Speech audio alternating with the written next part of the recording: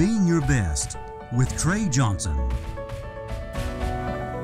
Changing the world, one thought at a time.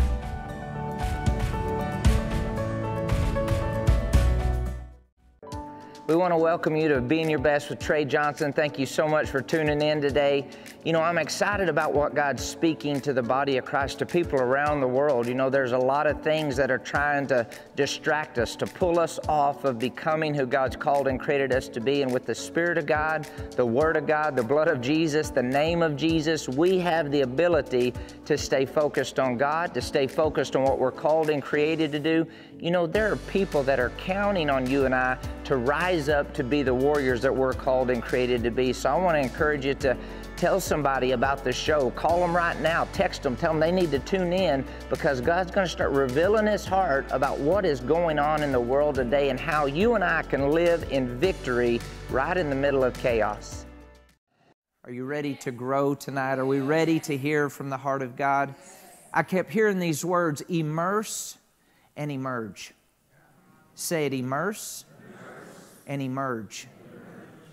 So I just began to study, all right, what is, what is immerse and what is emerge? And, and he was saying, I, I want you to immerse yourself in what I'm fixing to say because the life of God in you is going to begin to emerge. The favor is going to emerge. Answers are going to emerge. Winning is going to emerge. Wealth is going to emerge.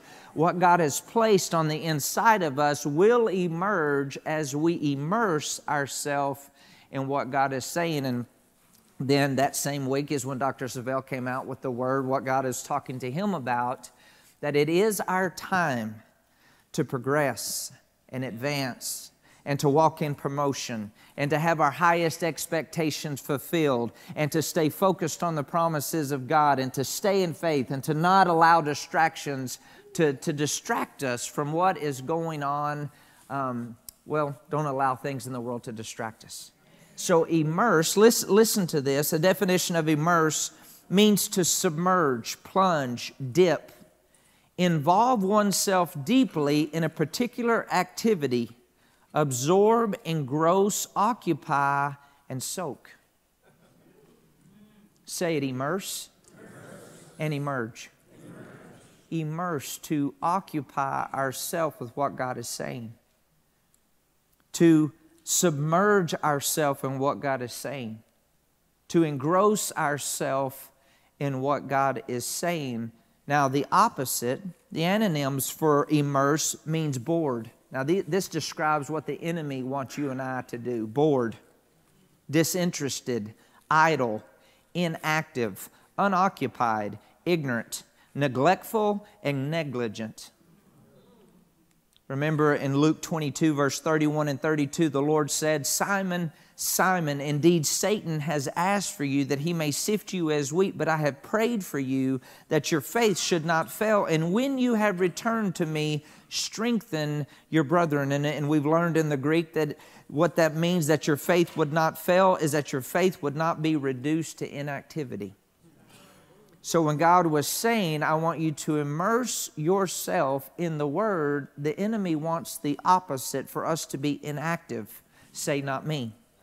Now, the definition of emerge, listen to this to move out or away from something and come into view.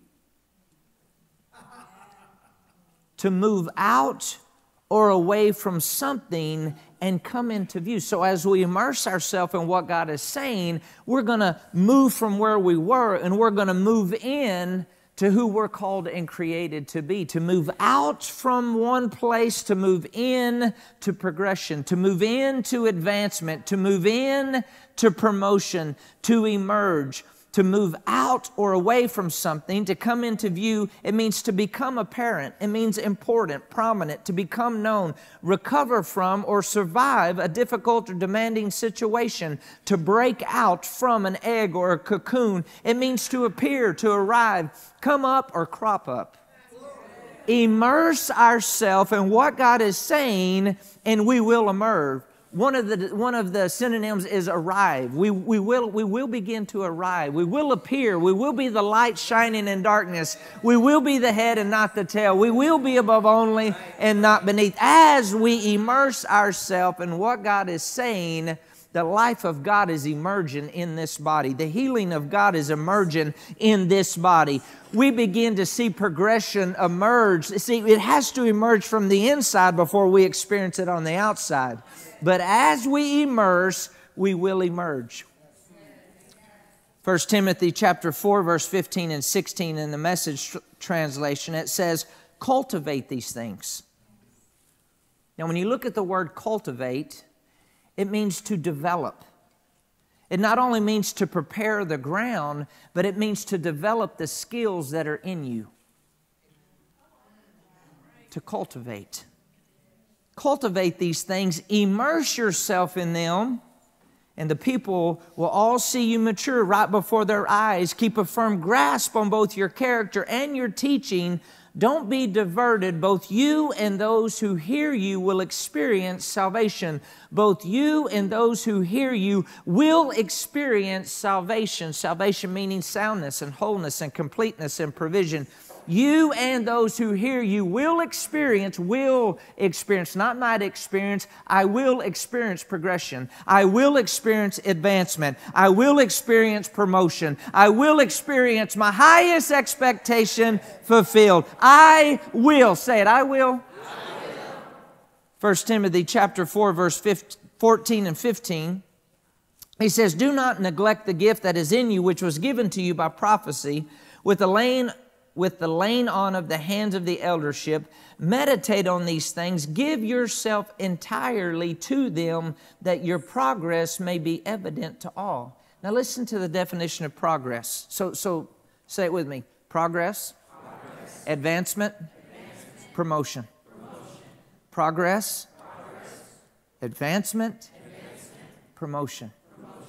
The definition of prog- progression, the act of progression, the act of progressing forward or onward movement, advancement, breakthrough, betterment, boost, development, furtherance, growth, headway, improvement, promotion.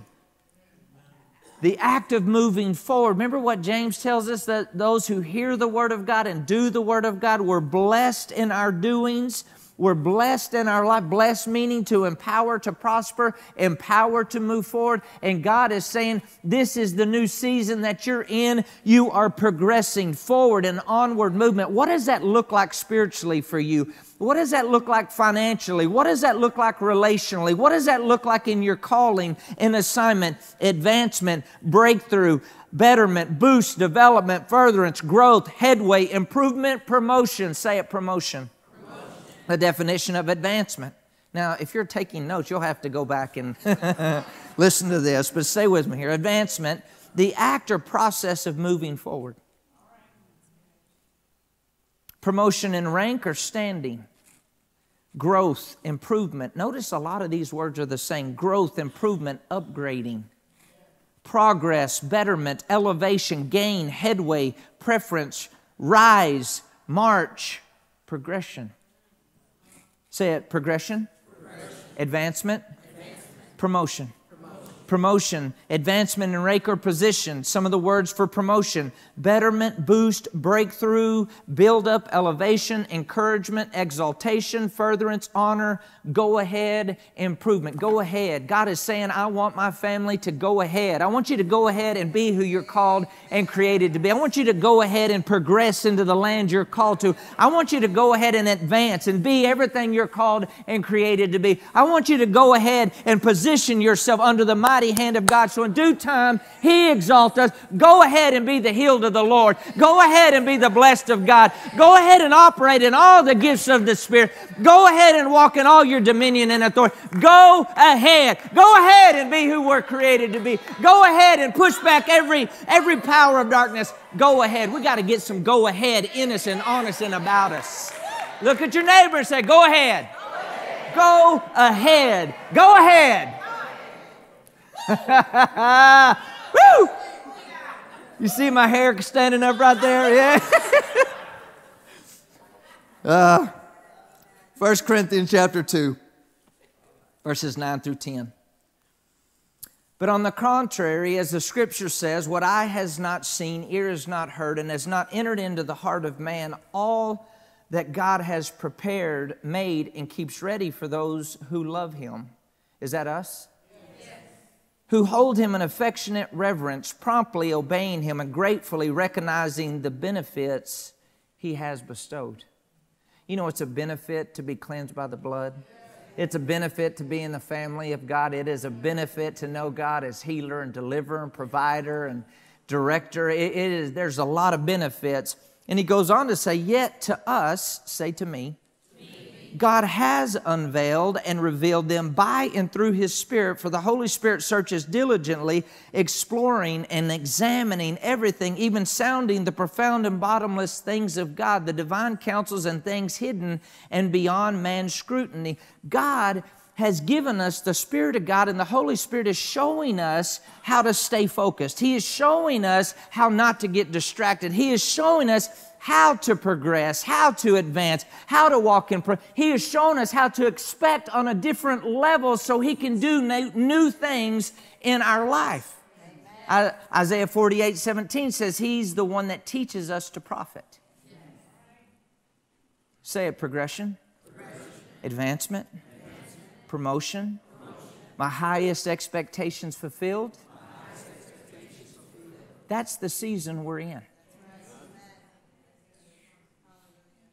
That's the season that we're in.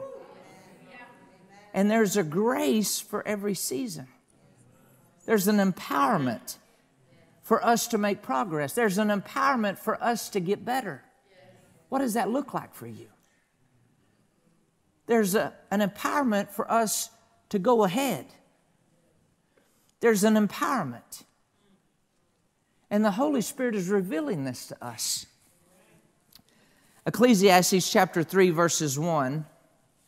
It says, To everything there is a season and a time for every matter or purpose under he- heaven.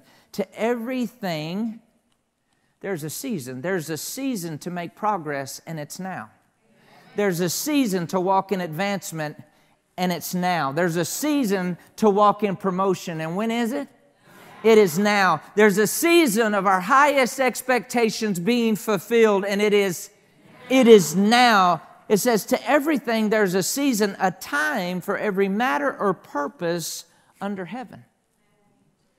Season, time, purpose.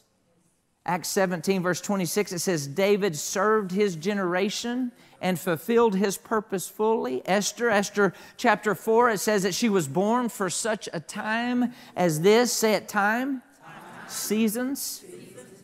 Time, seasons. For every purpose in heaven we this is this is where we're at. God is is echoing through the offices of ministry. Immerse yourself in what i am saying and it will emerge. It is time for my body to make progress. It is time for my body to advance. It is time for our highest expectations to be fulfilled. Genesis chapter 1 verses 1 through 3 in the beginning, God created the heavens and the earth, and the earth was without form and void, and darkness was on the face of the deep, and the Spirit of God was hovering over the face of the waters. Then God said, Let there be light, and there was light. Now, one of the meanings of the word light comes from a Hebrew word, O R E, and it means order. So, so let, let, let's listen to what God is saying. He's identifying the times that we live in. He's identifying the seasons that we live in. And at this time, the Spirit of God was hovering over the chaos, hovering over the void, hovering over the disorder. And He said, Order be, light be, and order was. So, whatever area has been chaotic, whatever area has been void, whatever area there has been a darkness over, we're in a new season, and God is saying, Order be. This is a season you're in, and God sent His word to bring order to the chaos.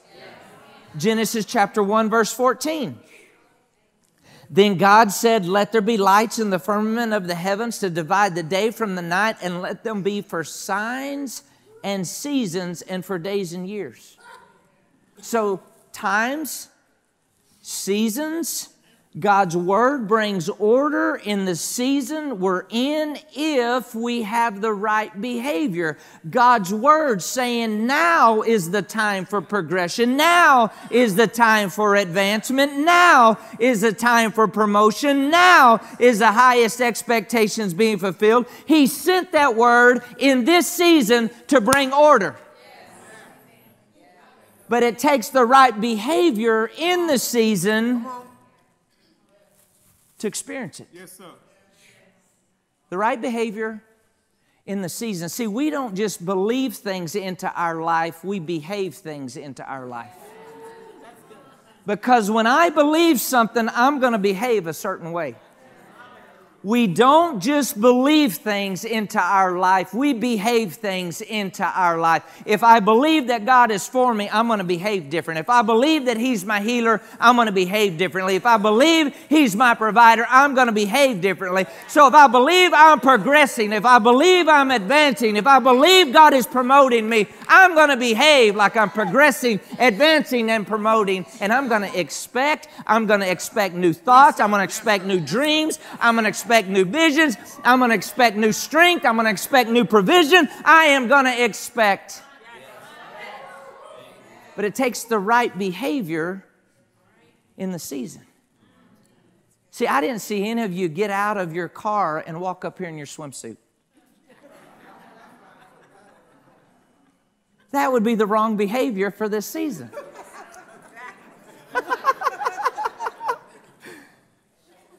We're not going to get together in July and be in fur coats. Wrong behavior for the season.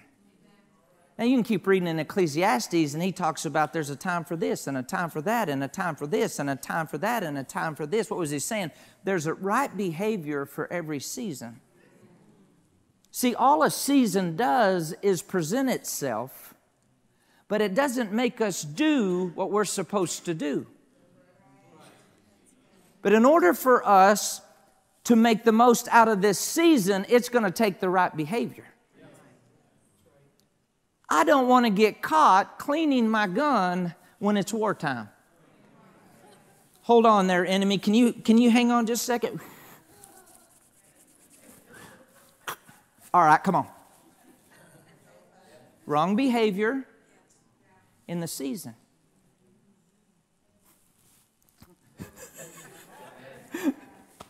How about, how, uh, we've all seen American Idol, and this just makes me laugh when I think about the right behavior in the season, because here these people are. I mean, they, they, they stay out there for days, and they're in this line, and they have this season that's presented to them, this opportunity that's presented to them, and they get up there, and they're saying, This is my time, this is my season, and they open their mouth, and you light up my life and it's horrific, just like your faces are expressing to me. See, th- thank you, Pastor. Thank you. He's such an encourager. He was saying, That's good that you never do that again, please. But see, they didn't have the right behavior in the preparation season. So when the opportunity presented itself, they didn't maximize the opportunity. God presents seasons to us, and He's saying, Listen, listen to what I'm saying. It's the season to progress, but it's going to take the right behavior. It's the season to advance, but it's going to take the right behavior. It's the season for promotion, but it's going to take the right behavior. The season is given by God to bring order to our life, but it's not just the season in itself, it's what we do in the season. So when he's saying, okay, it's time for you to elevate, it's time for you to get better, it's time for promotion, it's time for you to go ahead. Well, if I believe that, then there's going to be a behavior right. that backs up my belief. Farmers are, are excellent at identifying the seasons. I remember as a little boy, I would, I would ride on the tractor I mean, we still hoed cotton whenever I was a little boy, you know, and all my aunts and uncles, they'd get mad at me because I was, I mean, five, six years old, and I'd get out there with my little hoe, you know, but I'd get behind the seat of my tractor of my paw and the vibration, you know, it would put me to sleep, and they'd all get mad. But I, I remember as a little boy having the right behavior in the season. In wintertime, he wasn't out there watering. In the wintertime, he wasn't out there spraying, he wasn't out there planting. You know what he was doing in wintertime? I remember taking the, taking the blades off of the, the disc and the plows and everything, and they would sharpen them in the wintertime because that was the right behavior. But when spring rolled around, they had different behavior because they did what they needed to do in the preparation season. So when the next season presented itself, they could have the right behavior and make the most out of the season. Our season God is saying the behavior is to stay in faith. The behavior is to stay focused. The behavior is to not get distracted. He's saying this season is a time to progress, a time to advance, a time for promotion, a time for our highest expectation fulfilled. Season, but we must have the right behavior in the season to make the most of the opportunity. Ephesians chapter 5 verse 16 in the amplified making the very most of the time, buying up each opportunity because the days are evil. Making the very most of the time, buying up each opportunity because the days are evil, making the very most of the time. So God is, is saying this is the season that you're in progression, advancement, promotion, but it's what I do with my time that sets me up to maximize the opportunities that are coming because they're coming. God is no respecter of person. They're coming. The question is, will we be ready to maximize the opportunity when it's presented to us? Or will we be like the American Idol people that don't use the preparation time to get ready so an opportunity presents? They can maximize the opportunity. What we do with our time determines who we become, where we go, and what we do. Time is the currency of life. What are you doing with your time? Developing your gift, your calling. We're shouting and declaring God's pr- pr- promoting me and advancing me, and I'm moving forward, and things are getting better. Well, what are you doing uh, with what you have? See, God is not asking us to do something with something we don't have.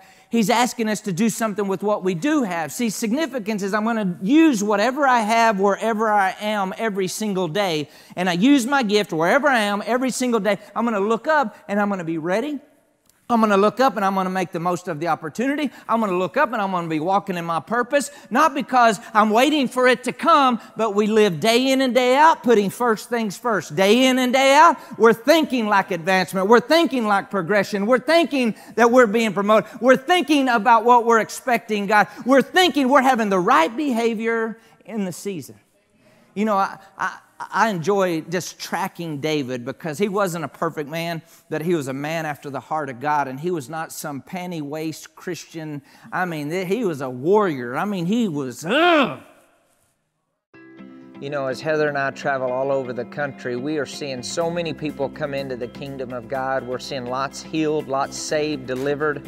And our partners are a part of that. You know, when David, he went to battle and, and he came back, he told the whole crew, the ones who stayed there, the ones who fought, that they all get the equal portion. Listen, it isn't just us doing the work. We couldn't go without you. And so we want to invite you to pray, to seek God. And if it's on your heart, partner with us. Pray for us. Be a part of what God's doing around the world. Don't forget to go to all of our social media outlets. Go to our website, TreyJohnsonMinistries.com. We have daily encouraging words. We have the YouTube channel. We have the podcast. We have the daily devotionals. We have a lot of different things to help add value to your life. Thank you so much for praying, believing in what God's doing in us, and we'll talk to you soon. But you can look at the seasons that was in his life and you can look at his behavior. And then you can look maybe at Solomon's life and you see the different seasons in his life and, and the behavior because Solomon got off at the end of his life, but David didn't. Even though he made mistakes, he still fulfilled all the will of God. You, you, you think in the beginning, the season, he was tending his dad's sheep. That was a season. He had the behavior of being faithful. Then the prophet Samuel came and anointed him as king, but he wasn't quite ready to be the king. So the next season, he not only had one job, he had two jobs. And he was taking care of his father's sheep and he was serving King Saul in the palace. See, God speaks to us from our future. God speaks to us from our potential. He speaks to us from the way that He sees us. He had already anointed David as king, but David wasn't quite ready yet. So there was preparation, right behavior in the season that he was in. And so he was faithful to his dad, he was faithful to King Saul. I know you've got a lot out of the teaching today, and I don't want to encourage you to go to our YouTube channel and listen to it again. Go to the podcast you know, call the number that's on your screen and get a copy of this teaching because faith comes by hearing and hearing by the Word of God. You know, Heather and I want to invite you to partner with us as we travel around the world, as we are doing our best to expand the kingdom of God in all different types of venues. And if we can add value to your organization and to your church, to whatever God's putting on your heart, we want to connect. We live in a day and time where we've got to be where we're supposed to be to call people out of darkness into light, to expand the kingdom, and it takes partnership with you and I coming together. So we want you to pray about that. There's ways to give uh, that you've seen throughout the show. You can go to our website, there's ways to give there. But you know, if you've never made Jesus Christ your Lord and Savior, I don't want to get through with this show without giving you the opportunity to know where you're going to spend eternity. That is the most important thing. You know, 1 John chapter 5 says when a person receives Jesus, they receive eternal life and they know where they're going to spend eternity. You think about that. They don't guess, they don't wonder, they don't wish. You say, How can you explain that? There's a knowing there. It's just kind of like, you know, you have a brain in your head, you can't see it, but you know that it's there. You have a heart beating in your chest, you can't see it, but you know that it's there. Well, when you accept Jesus, there's a knowing. I'm not talking about fire insurance. I'm not talking about okay, man. I, you know, get get through hell, go past go. You know, I'm talking about a personal relationship with Almighty God, settling where you're going to spend eternity, coming from darkness into light, coming out of the family of Satan into the family of God Jesus said, I am the way, the truth, and the life, and no one comes to the Father except through me. So if you've never made Jesus Christ your Lord and Savior, if you want to settle where you're going to spend eternity, I want you to pray this very simple prayer together with me, right where you're at, wherever you're listening, however you're listening.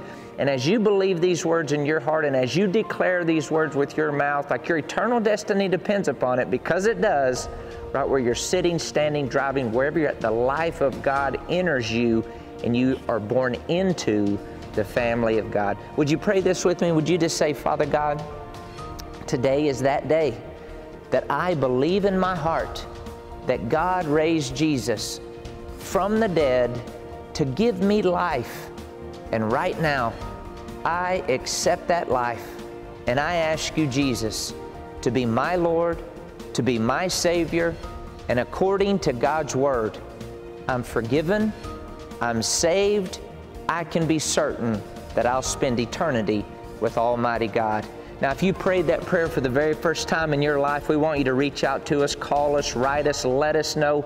We want to get material to you. We want to help you grow in your relationship with God. Hey, this is Trey Johnson. I'm so grateful that you've joined us today. I believe that you've got something out of it that you can apply because remember, it's the doers of the word that get results. Until next time, God bless you guys.